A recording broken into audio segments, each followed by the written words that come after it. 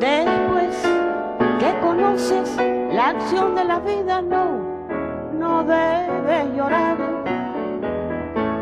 Hay que darse cuenta que todo es mentira y nada, nada es verdad. Hay que vivir el momento feliz, hay que gozar lo que puedas gozar, porque sacando la cuenta en total, la vida es un sueño y todo se va. La realidad es nacer y morir, porque llenarnos de tanta ansiedad, todo no es más que un eterno sufrir. El mundo está hecho, de infelicidad, de infelicidad.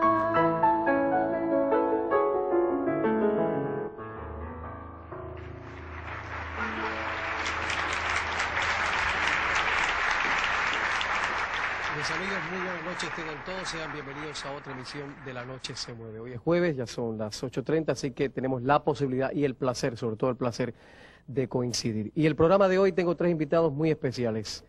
Es un programa que en términos deportivos habría que decir que es un programa all-star o de todos estrellas.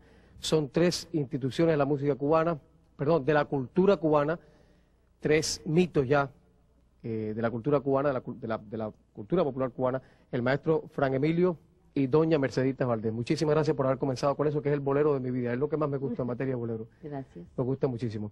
Mercedita, la música y usted han- se han llevado siempre muy bien. Desde pequeñita usted le dio por la música. Desde pequeñita. ¿Usted se recuerda en algún momento queriendo hacer otra cosa en la vida o siempre supo que lo, lo de usted iba con la música? No, yo su- siempre supe y quise estar con la música.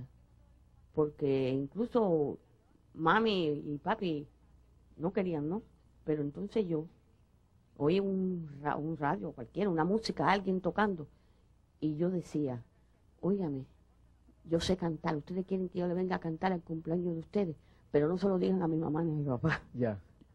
Siempre, siempre seguí con la música de que nací. Y dentro de mi casa, yo ponía los tacones de mamá y era A cantar. la señora Rita Montaner. Ah, sí. Ese, ese fue mi ídolo. ¿Y usted habitualmente ahora escucha mucha, mucha música en la casa? Sí, cómo no.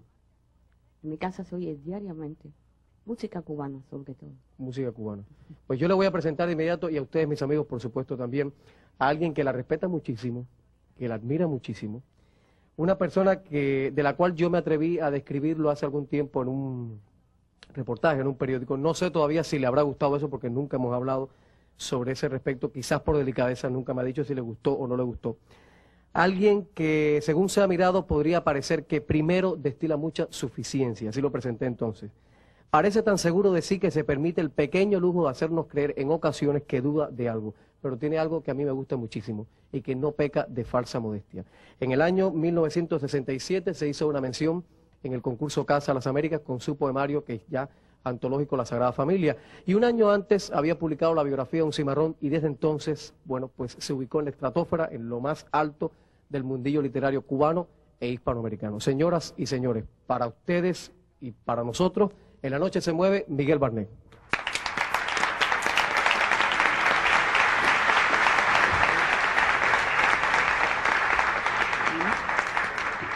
Miguel, Que yo bueno, quiero mucho. yo lo sabía, por eso dije que tienen que estar juntos. Pues ven que es un programa de todos estrellas, Miguel Barnet, Mercedita Valdés y el maestro Fran Emilio. Son dos estrellas, yo no. Usted es un lucero que brilla más, ¿no? Yo digo que usted no pecaba de falsa modestia. Bueno, un lucero. Miguel, ¿qué tú crees que se necesita para cantar como canta doña Mercedita Valdés, para hacerlo como lo ha hecho durante todos estos años? Además de talento y habilidad, ¿hay que tener algo especial? Bueno, hay que tener sobre todo eh, Merceditas. Hay que tener voz. Y la voz de Merceditas, que como eh, decía Bola de Nieve, que él tenía voz de persona. Yo creo que si algo me gusta a mí de Mercedita es que Mercedita tiene voz de persona. Si no es una cantante engolada, es una cantante que, que surgió donde todos sabemos, ¿no?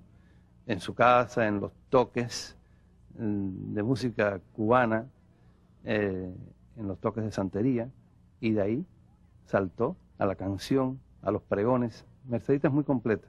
Yo creo que la, la voz de Mercedita es muy peculiar por eso, porque está arraigada a, lo, a la tierra, ¿no? a, lo, a lo telúrico.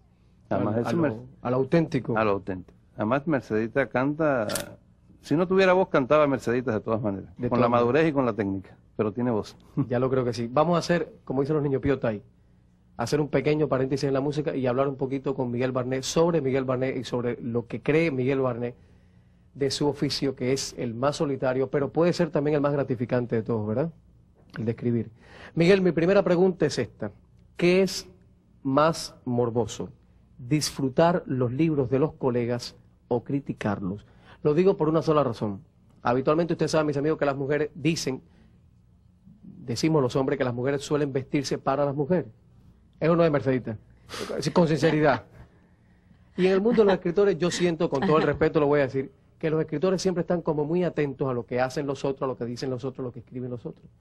Entonces, por eso quiero Yo no saber quiero que opinión. los escritores cubanos, que son mis amigos y mis colegas, se ofendan. Pero yo nunca realmente, como empecé a escribir desde, desde muy jovencito, y escribía mis poemas, mis artículos, que nunca se publicaban, pero yo escribía artículos, estaba, estoy hablando de los años 50, y yo nunca pensé en escribir para los escritores, y sigo eh, en esa misma tendencia, en esa misma línea. Yo escribo para, para todo el mundo. Tampoco digo que escribo para mí, porque eso es un acto de gran hipocresía. Creo que el que dice que escribe para sí mismo es un farsante, un mentiroso. Ni escribo para que me quieran. Yo quiero que me quieran por otras cosas y también por la escritura. ¿Por qué otra cosa quiere Miguel Barnet que le Bueno, Si se puede decir públicamente, a ver. Todo se puede decir casi, pero bueno, mis condiciones humanas, mi calidad, si es que, si es que, si es que la tengo, ¿no? Y creo, creo, creo que por eso eh, es mucho más importante que lo quieran a uno. Aunque luego también lo quieren a uno y lo estiman a uno por lo que uno escribe, si lo que uno escribe llega realmente. Entonces yo escribo para todo el mundo, realmente para todo el mundo. En mis libros son libros que están, no están proyectados hacia, hacia el mundo, digamos, de, de los, de los intelectuales, de No, los es críticos. verdad que no. Ahora, han sido asumidos por los críticos y por los intelectuales y eso es una cosa que me, que me favorece y que me satisface. Miguel, Pero tanto como morbo, esa palabra morbo, tú, porque tú haces preguntas muy insidiosas.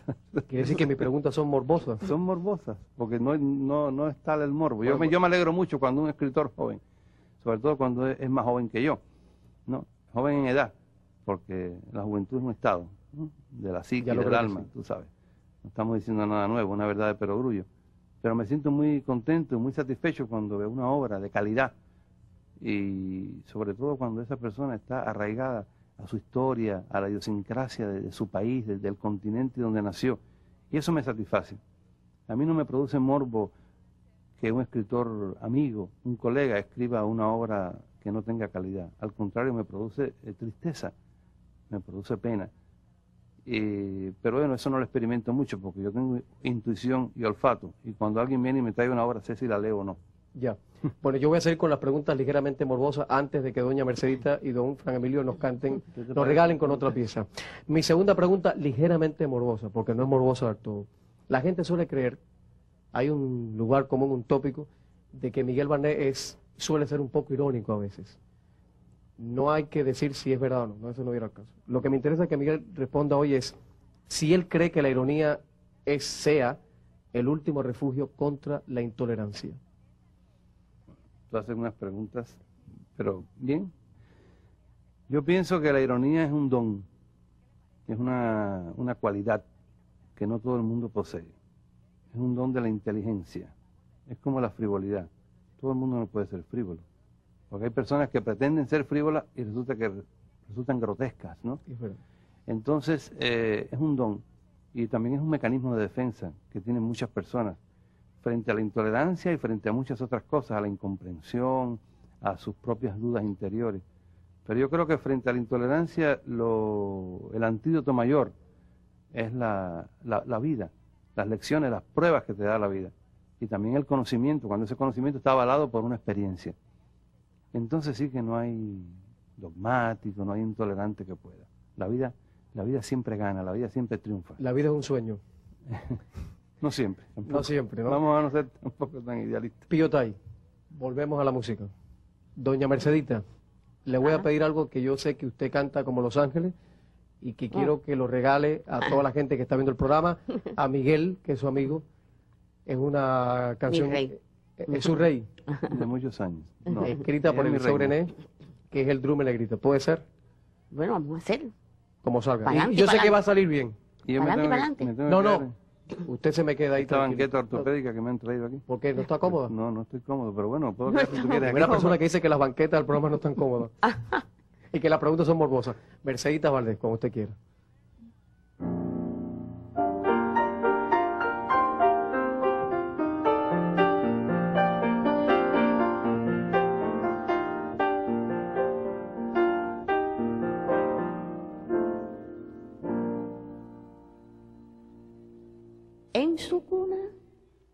Ya no puedo dormir. La negrita lo comí. Si no duerme, yo le va a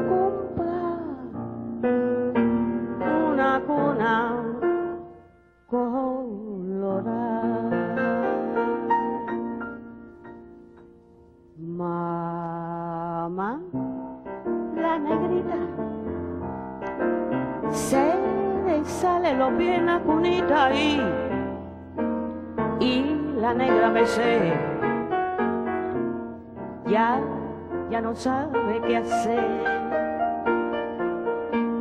tú dime negrita que yo va a comprar nueva cunita que tenga capite y también cacabel. Si tú duermes, yo te compro un melón muy colorado.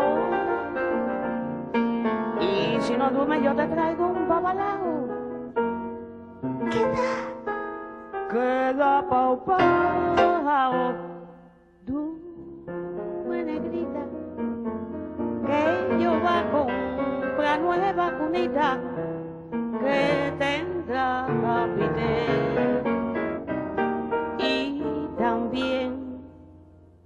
cacabé. Dume negrita.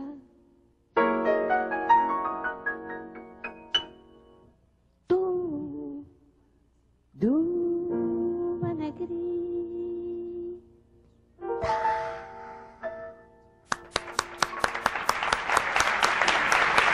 Muchísimas gracias. Ay, Mercedita, qué bien usted lo hace. De verdad. Hacemos lo que podemos. Óigame, Mercedes, dígame una cosa. Para cantarle al amor hay que padecerlo. Hay que sufrirlo. Bueno, hay momentos que se sufre, pero es un sufrimiento. Voy a, a, a retomar la palabra de, de Miguel. Un sufrimiento morboso, ¿no? es un sufrimiento que pasa cuando de verdad, verdad, es amor. Puedo sentirme orgullosa y feliz. Conocí el amor, viví el amor y sigo viviendo de ese amor. Me alegro. Maestro Fran Emilio, ¿qué opinión, qué idea tiene usted del amor? Eh, yo no entraría en, en, en cuestiones un poco filosóficas. Creo que el amor es un sentimiento sencillamente y que cada sujeto, cada sujeto lo experimenta a su modo. Yo creo que se puede decir mucho de eso, porque estas cuestiones subjetivas son así. Cada quien lo, lo sabe o lo sueña o lo siente a su modo. Ya. Mm, don Miguel, para escribir sobre lo amoroso y que la gente se lo crea, ¿se necesita un condimento especial o ya con habilidad, con oficio, se puede engañar a los lectores? Bueno, Ahora empiezan las revelaciones. Ahora que empiezan las revelaciones. engaños y todas esas cosas. Tú eres tremendo. ¿no? Mira, eh, ellos han dado dos definiciones hermosas ¿no? sobre el amor, sentidas de personas que han vivido el amor por muchos años. Yo pienso que para escribir sobre el tema del amor hay que conocer el amor, conocer el amor impli- implica de algún modo haberlo experimentado.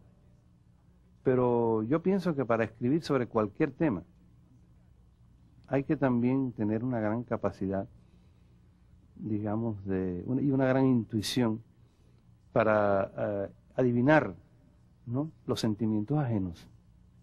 No todas las personas que han escrito sobre el amor han sido, digamos, eh, grandes amantes, porque en la poesía, digamos, se inventa también, como en la novela, ¿no?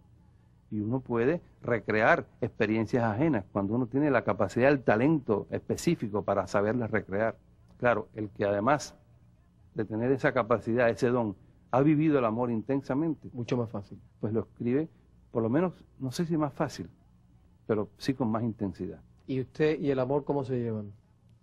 Bueno, más o menos ahí. Ahí. Sí, más o menos ahí, porque yo soy un poco egoísta con mi soledad. Maestro Fran Emilio, me gustaría, y esto si estaba fuera de, de programa, estoy dando un libretazo, como decimos en, en cubano. Yo quisiera pedirle que nos tocara, ahora que estamos hablando del amor y todas estas cosas, alguna pieza, alguna pieza que a usted le trajese, le trajera recuerdos de verdad muy, muy sentidos, muy...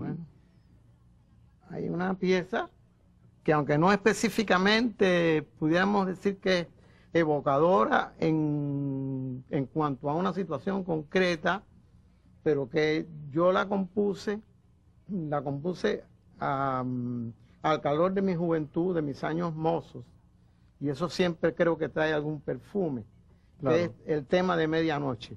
Bueno, lo escuchamos cuando usted quiera.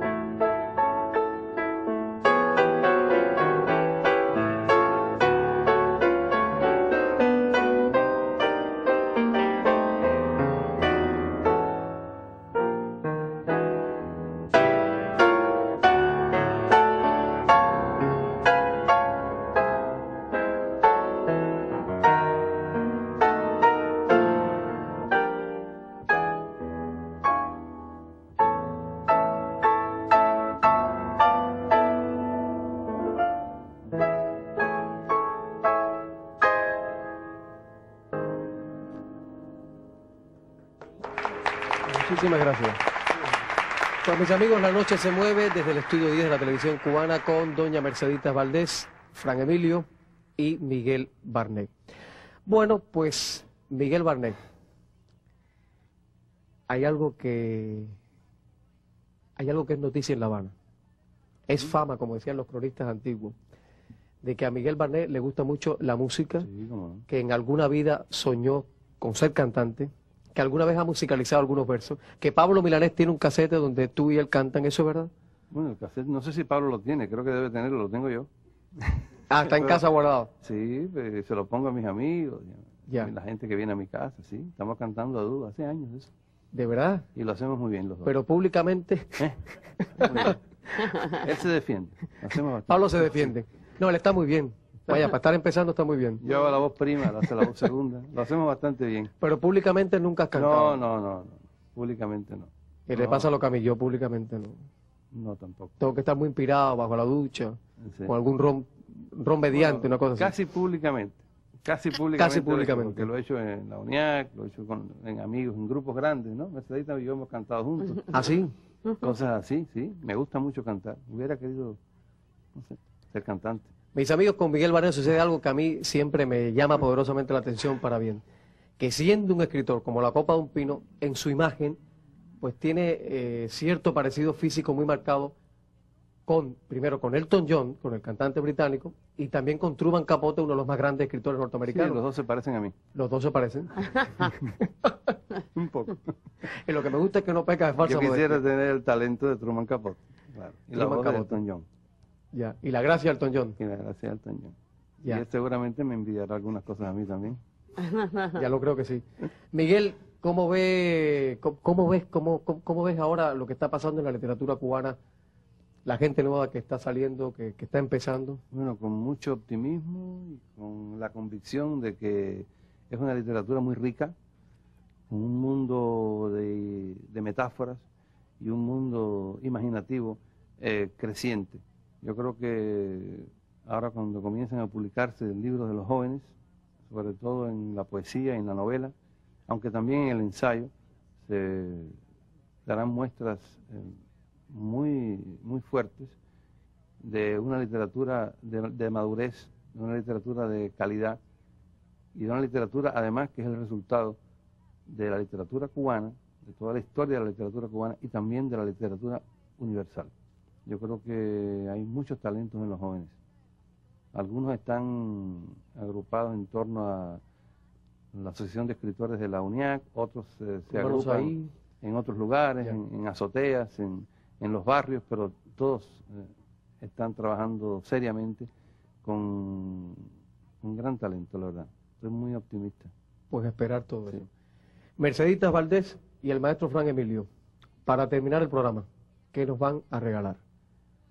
Bueno, hay una, ponernos de acuerdo ahora rápido. una sorpresita que no, no estaba en el programa, sino pensamos por una variante que hubo, entonces pensamos poner, Ah, ya. porque estos números son del Achedo, De su disco H2, sí. del Achedo.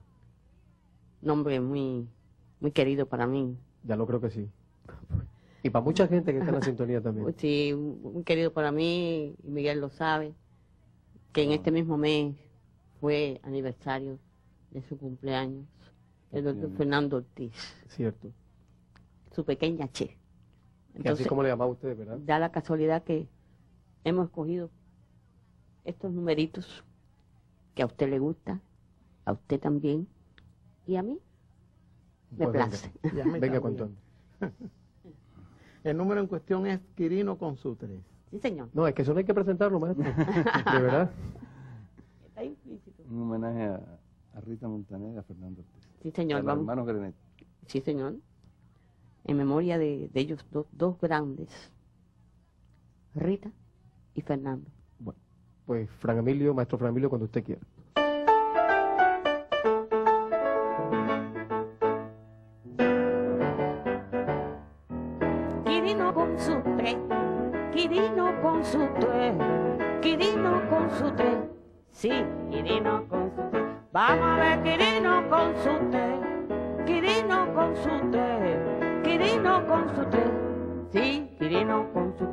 La bemba grande, la pasadura, suelto los pies.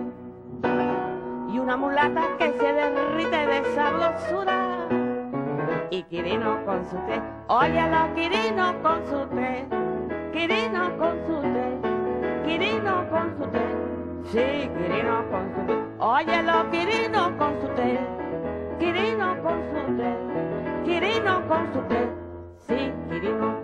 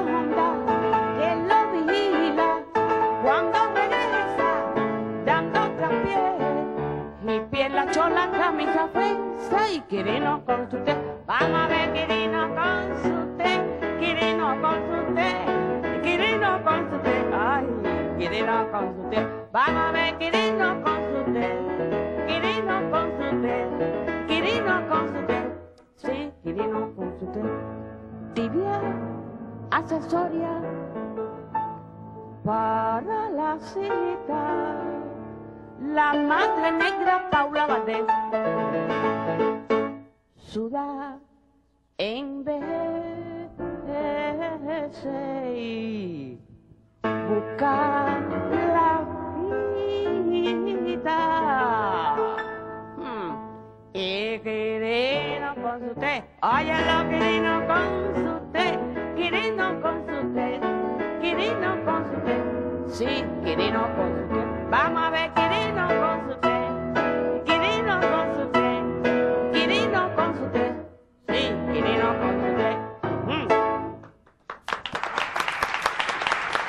Mercedita, que haya Mercedita por muchos años. Y que haya Fran Emilio y que haya Miguel Barret por muchísimos años. Muchas gracias. Que, De verdad ha sido un placer tenerlos esta noche. Gracias Acá en la noche se mueve. No es Gracias. una cosa formal, de verdad, que los presentadores dicen muchas cositas formales. De verdad me han hecho muy feliz. No.